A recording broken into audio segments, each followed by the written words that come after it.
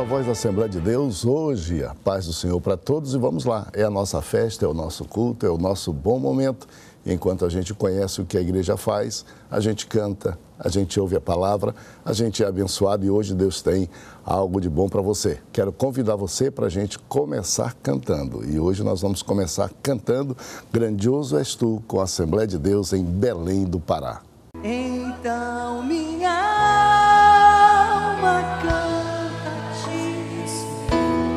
aleluias, grandioso és tu, grandioso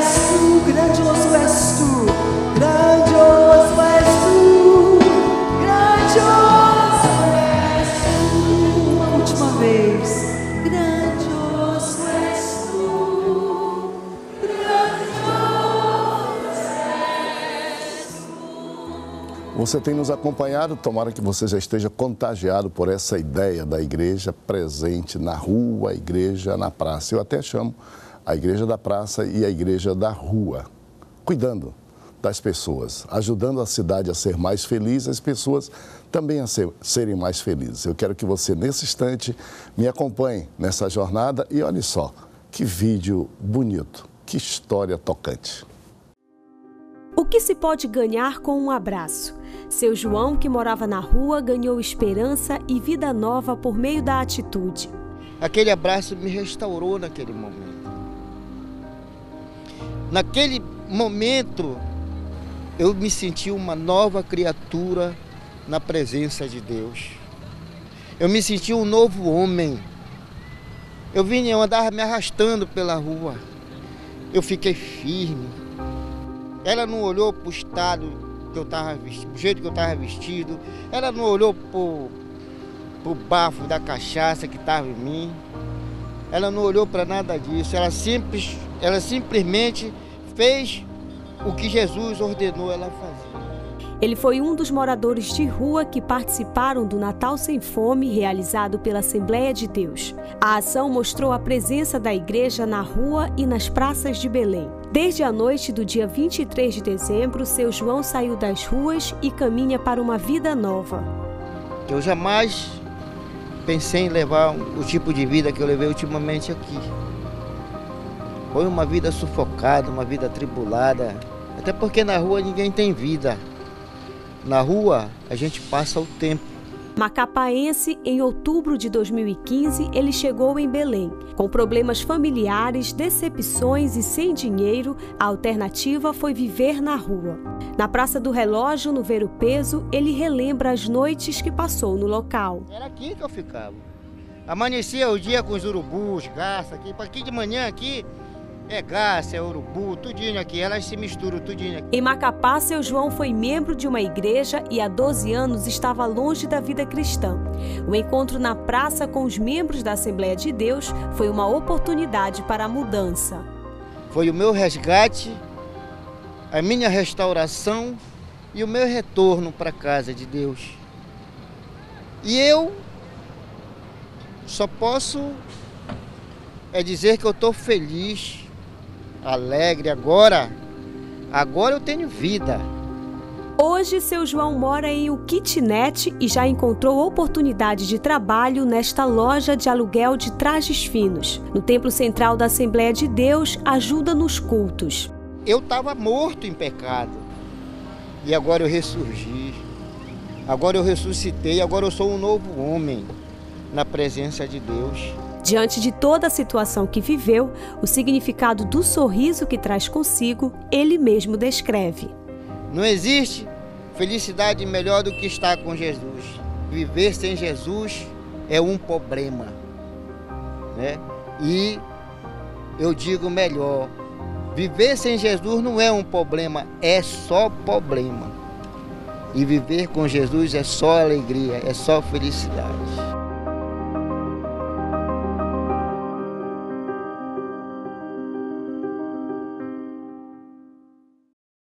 Claro que para dar apoio a um trabalho como esse, Deus colocou no nosso coração de igreja em Belém do Pará ter um templo em cada praça da cidade. É um desafio imenso. Normalmente, as igrejas evangélicas estão colo colocadas ou localizadas em lugares escondidos, em praças, só as igrejas católicas e, e, coisas assim.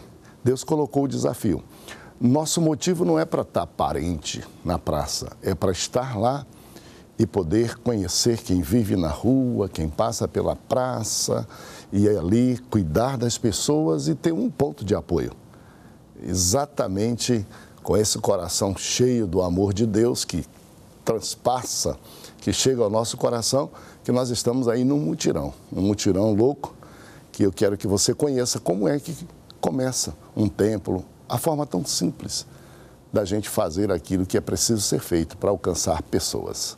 Veja só um templo para cada 3 mil habitantes. Com este objetivo de estar presente na vida das pessoas, a Assembleia de Deus terminou o ano de 2015 com 524 templos espalhados em diversos bairros de Belém. Na última maratona missionária realizada em novembro de 2015, a liderança da igreja visitou alguns espaços e pontos estratégicos do centro de Belém para implantar novos templos.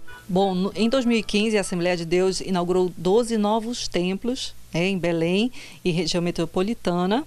E para 2016 nós temos o alvo de estabelecer 20 novos templos, é, principalmente nos bairros centrais de Belém, como Nazaré, Cremação, Batista Campos, o Marizal.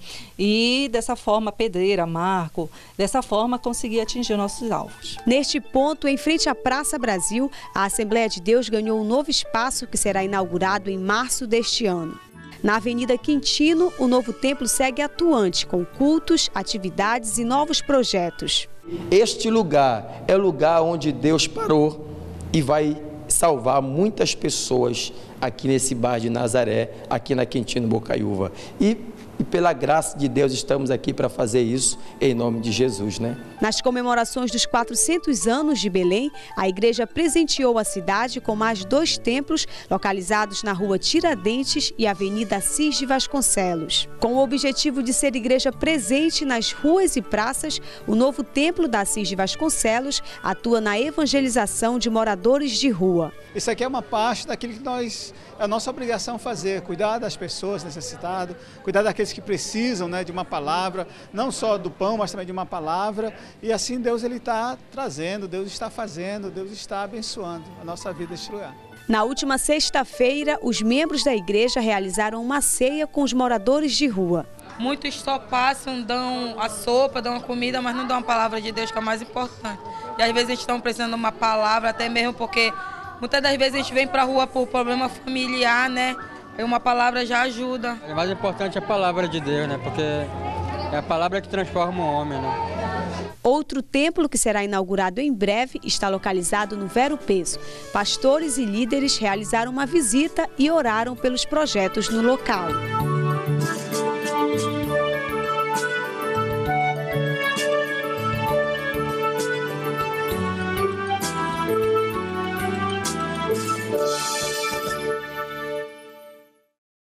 Eu não posso deixar de lembrar a você, nós temos uma festa, uma imensa festa, um Congresso Nacional de Mulheres, para acontecer no dia 18 e 19.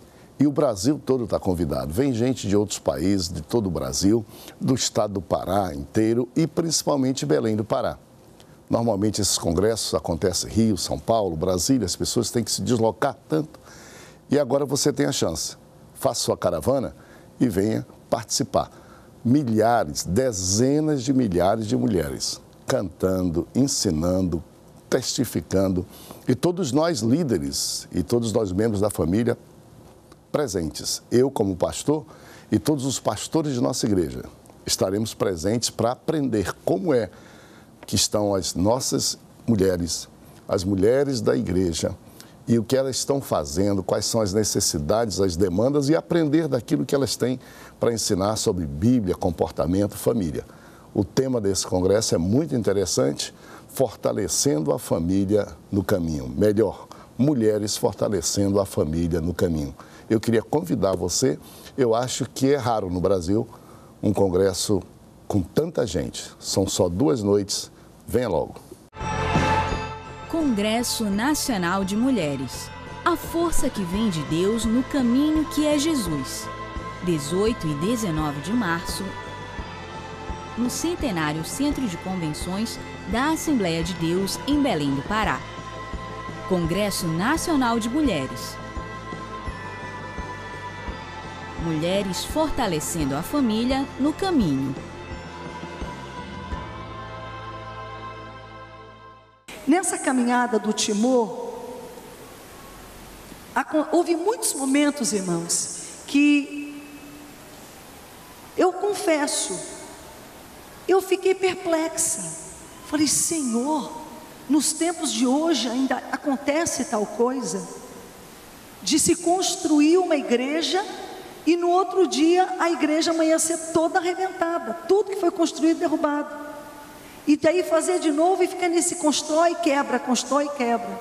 E quando eles colocavam para vigiar, muitas vezes ficar vigiando, eles conseguiam construir. Mas na primeira oportunidade que alguém não estivesse vigiando, eles iam lá e derrubavam.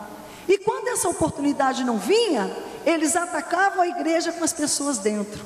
Houve um caso em que um missionário nosso, inclusive era um pastor de Manaus, é, foi tão severo o ataque infligido sobre aquela igreja que eles ficaram com medo da igreja ser incendiada e começaram a fugir. E esse missionário, junto com outros irmãos, enfim, saíram correndo e por trás da igreja passava um rio, se eu entendo corretamente. E eles, para poder salvar suas vidas, pularam dentro do rio. Só que esse rapaz, ele nessa fuga, ele foi atingido na cabeça por uma grande pedra, de modo que ele sofreu uma contusão cerebral, que deixou sequelas. Mesmo assim, ele pulou no rio e estava muito frio. Mesmo assim, eles desceram a nado, rio abaixo é mais fácil, né?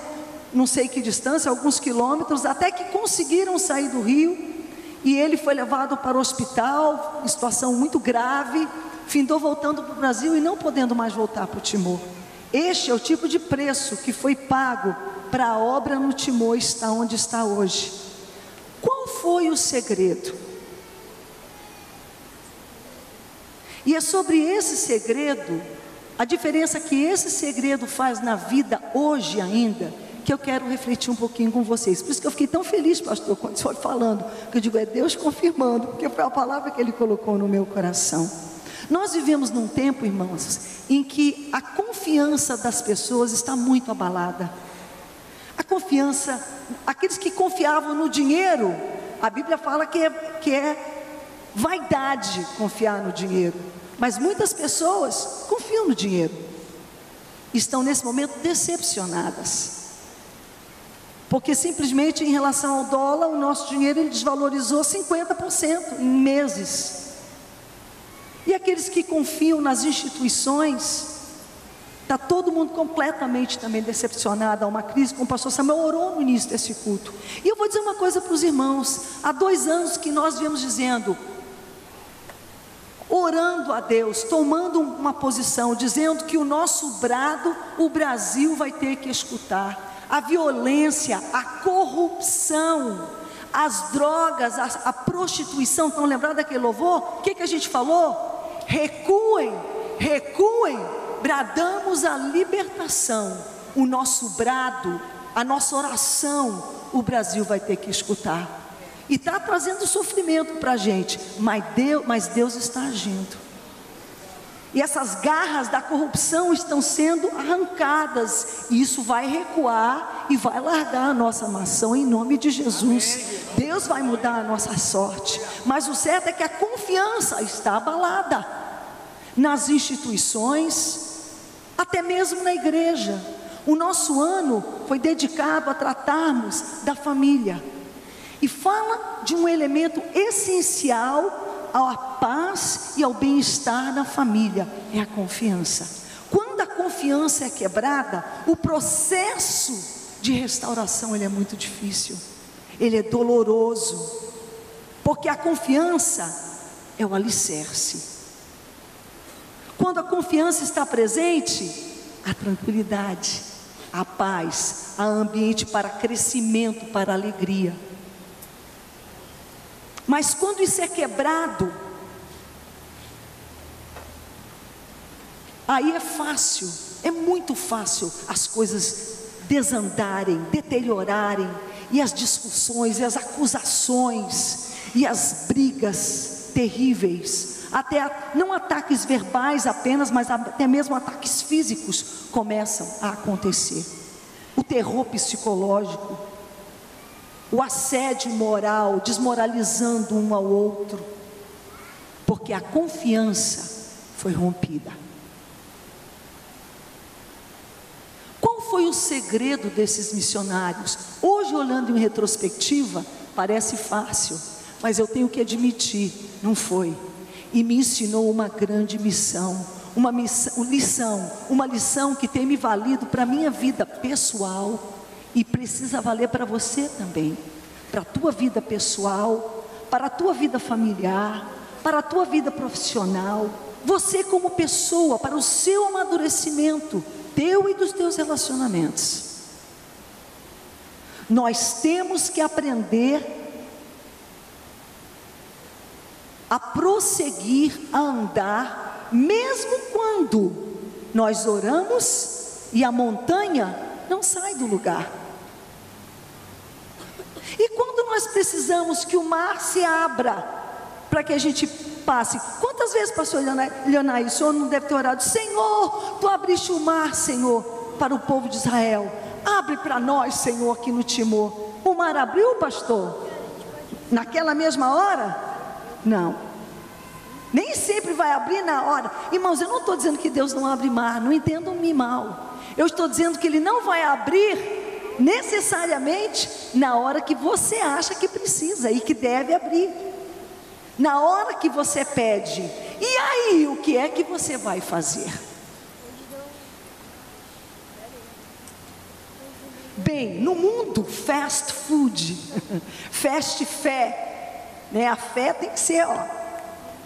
Se Deus não fizer o que eu quero, então esse não é o meu Deus. Eu vou procurar outro Deus.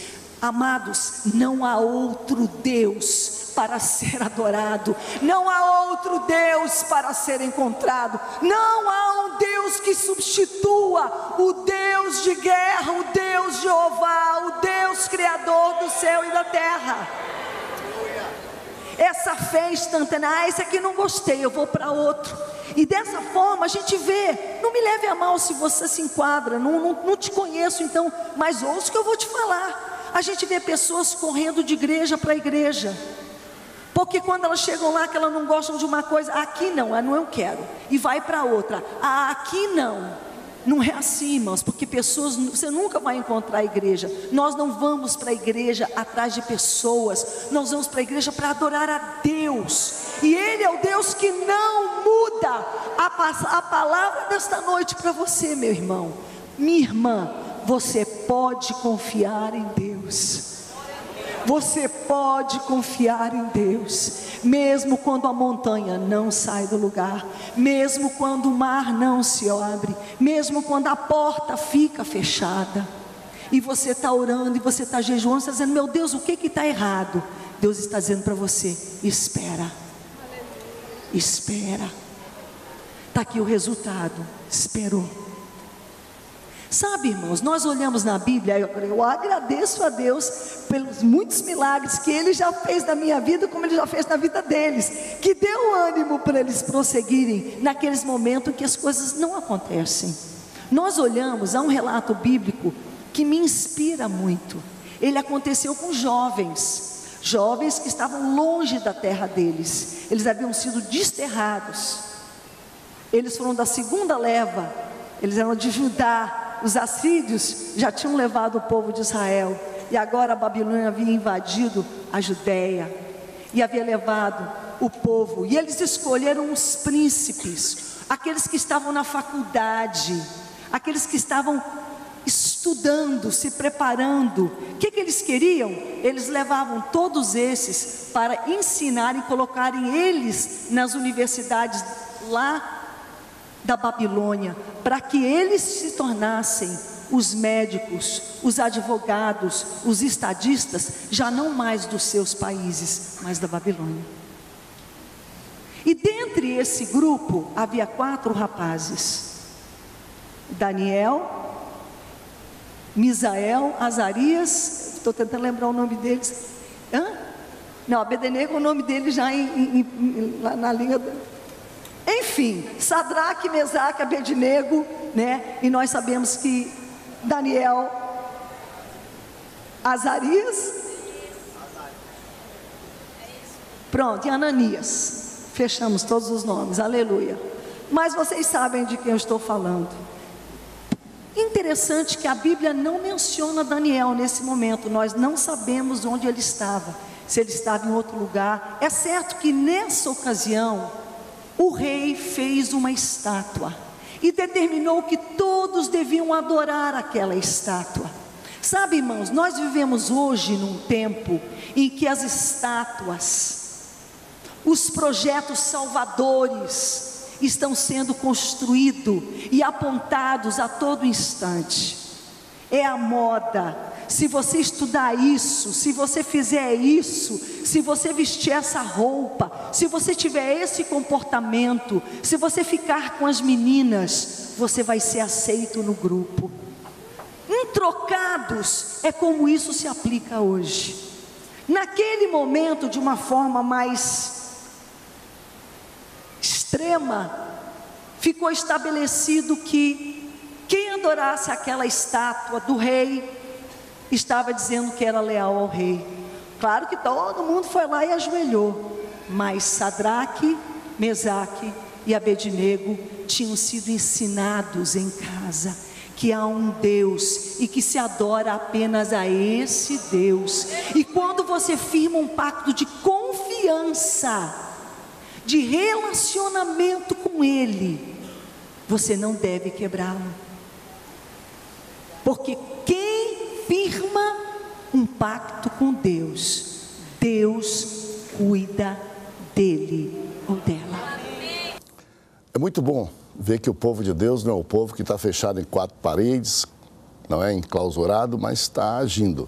E eu quero agora já caminhando para o final do nosso Voz da Assembleia de Deus para você ver o que é que nós estamos fazendo com a geração das crianças, nova geração. Tão legal envolvê-los. Nossa missão com crianças, são mais de 13 mil crianças.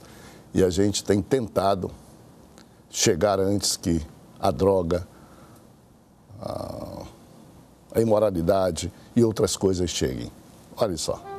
A missão com crianças, em parceria com a Orquestra da Assembleia de Deus em Belém, deu início ao projeto Semente Musical, que tem o objetivo de incentivar e preparar novos músicos na melhor fase para o aprendizado, de 6 a 13 anos de idade. Mais de 70 crianças se inscreveram e nós estamos felizes pela iniciativa dos pais, dos avós, tios, coordenadores de missão com criança que estão trazendo suas crianças do Guamá Terra Firme lá do Bengui. Para o primeiro dia de aula, a participação da orquestra e a demonstração de cada instrumento que impressionou a plateia.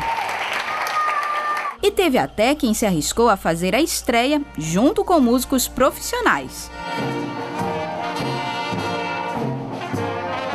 curso de iniciação musical terá duração de um ano com aulas semanais. A gente pensou assim, primeira e segunda etapa, é, ele vai aprender a parte de teoria musical com flauta doce e, e canto coral.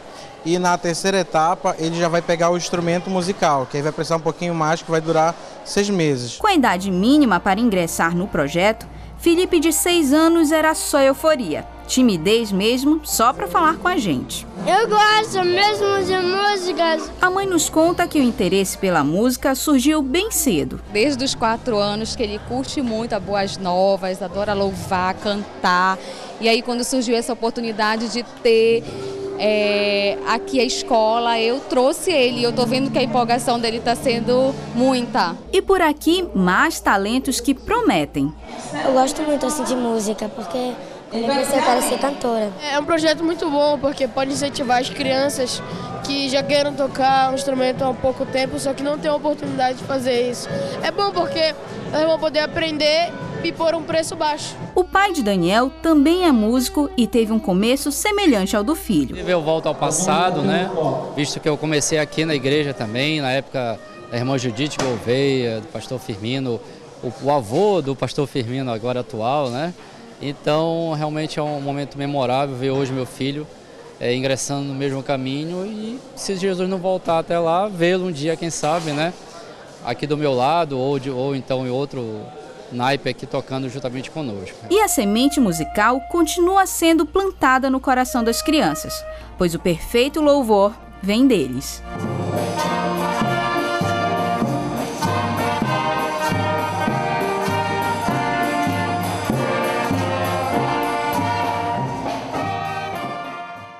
Um abraço para você. Estamos orando, ore por nós. Abençoe Voz da Assembleia de Deus e também a Rede Boas Novas. A Rede Boas Novas está aniversariando 23 anos, dia 15 de março. O março é o mês não só das mulheres, mas o mês da Boas Novas. Eu quero que você dedique um presente especial a Boas Novas, sem o que, sem a qual nós não teríamos Voz da Assembleia de Deus, nós não teríamos Babebilha, nós não teríamos coisa nenhuma e você não teria uma televisão aí para você assistir. Só que custa muito trabalho e muito dinheiro. Ore e nesse instante comprometa o seu coração dizendo: Nesta casa, na minha casa, todos somos semeadores da Boas Novas. E mande um presente, um presente para ela continuar cumprindo a sua missão. Ore comigo e até o próximo Voz da Assembleia de Deus. Pai querido, eu te agradeço essa chance tão boa que sempre temos há 23 anos porque a Boas Novas existe, porque ela não sai do ar, porque ela não nos tira do horário, porque ela não nos coloca para horários ruins, a gente pode abençoar lares e pessoas como estas que nós estamos abençoando agora. Nesse instante, eu me junto a todos os que estão comigo para orar pela Boas Novas rádio, televisão, satélite, e te suplicar que garantas o direito da Boas Novas existir em todo o tempo até o final, até a tua volta, como nós cremos, e que tu despertes pessoas, pessoas comprometidas, pessoas que querem ajudar, que querem fazer com que todos os que não vêm igreja, que estão nas prisões, nos hospitais, distantes, nos rios, nos lagos, nas rodovias, também os que estão nas grandes cidades, nos grandes condomínios, possam ter à sua disposição o teu amor, a tua palavra, o teu sustento. Eu te suplico, pois, guarda e protege as boas novas e supre todas as suas necessidades. Amém. Até mais, a paz do Senhor.